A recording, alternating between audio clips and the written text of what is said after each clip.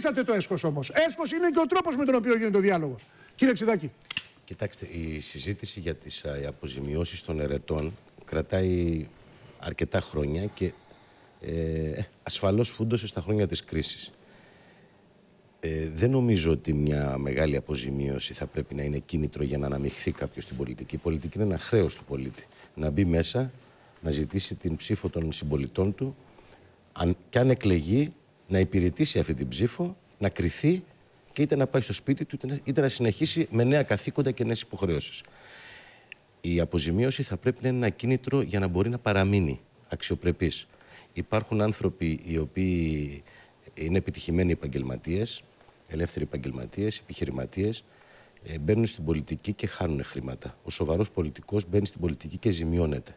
Αυτός που θέλει να υπηρετήσει την πατρίδα του και τους συμπολίτες του. Υπάρχουν και κάποιοι που πήραν μίζες. Βεβαίως. Είπα για τους σοβαρούς. Για τους σοβαρούς και τους άξιους και αυτούς που τιμούν την ψήφο των συμπολιτών τους.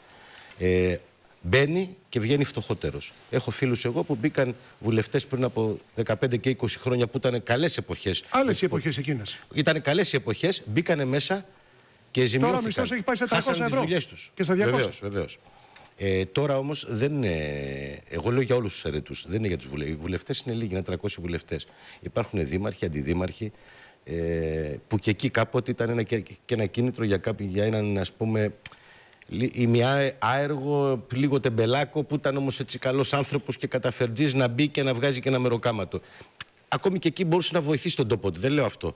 Αλλά ένας άνθρωπος ο οποίος έχει ένα εισόδημα, μια δουλειά καλή και μπαίνει στην πολιτική και θα πάρει 1000 ευρώ μισθό αντιδημάρχου ή 1500 ε, μισθό περιφερειάρχη ή δημάρχου, ε, δεν πρέπει να λειτουργεί ως αντικίνητρο.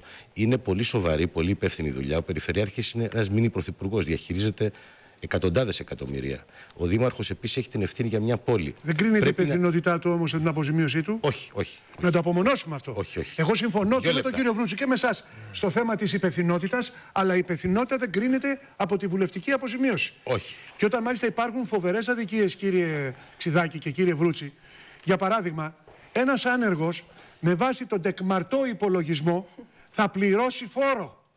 Ένας άνεργος παντρεμένος, ο οποίος έχει ένα σπίτι, τον νοικιάζει και είναι από το χωριό και έχει και ένα σπίτι το πατρικό του που έτυχε να είναι από την επαρχία και η συντριπτική πλειοψηφία από την επαρχία είναι αυτό φτάνει με βάση τον τεκμαρτό υπολογισμό γύρω στα 10 χιλιάρικα. Άρα... Χωρίς εισόδημα θα πληρώσει φόρο. 7-8 κατοστάρικα. 7-8 κατοστάρικα. Και καταλαβαίνετε δηλαδή τι λέμε. Και πρέπει να χτίσει και αφορολόγητο αυτός ο άνθρωπος. Θα έχει πέναλτι αν Εδώ λέμε την τεράστια διαφορά. Λοιπόν, από και αυτό δεν έχει να κάνει ούτε με της μήνυ μας ούτε με το μένος μας εναντίον του, του κοινοβουλευτισμού και της δημοκρατίας μας. Κάθε άλλο παρά. Σας προστατεύουμε κύριε Βρούτσι. Εγώ έχω την εντύπωση ότι σας προστατεύουμε από τις φωνές των ακραίων που εκμεταλλεύονται αυτή την αδικία, που εκμεταλλεύονται αυτή την εξόφθαλμη αδικία. Έτσι και βρίσκουν πάτημα. Μην τους το δίνετε λοιπόν. Κύριε, Δεν το δίνω εγώ με τις αποκαλύψεις και ο Ντίνο. Κύριε Παπαδάκη, από την πρώτη στιγμή της σημερινής συζήτησης, σας είπα ευθαρσώς ότι από τη μεριά των βουλευτών του ΣΥΡΙΖΑ υπάρχει εκφρασμένη βούληση μεταξύ μας εδώ και καιρό. Άρα να προχωρήσουμε σε δηλαδή. πλήρη εναρμόνιση της φορολογικής μεταχείρισης βουλευτών Άρα, και πολιτών. Άρα συμφωνείτε δηλαδή στο. Τέλος στο φορολόγητο, αυτό μας λέει. Ναι, Στην ίση αντιμετώπιση. Ισοπολιτεία, ίση μεταχείριση. Και το, το έχει αποδείξει ελπίζω, ο ΣΥΡΙΖΑ σε, σε πολλέ. Ελπίζουμε, ελπίζω, ελπίζουμε να, είναι, να, να, είναι και, να, να γίνει και πραγματικότητα. Έτσι, γιατί γιατί σας είπα, είναι οδυνηρό το να βλέπει τη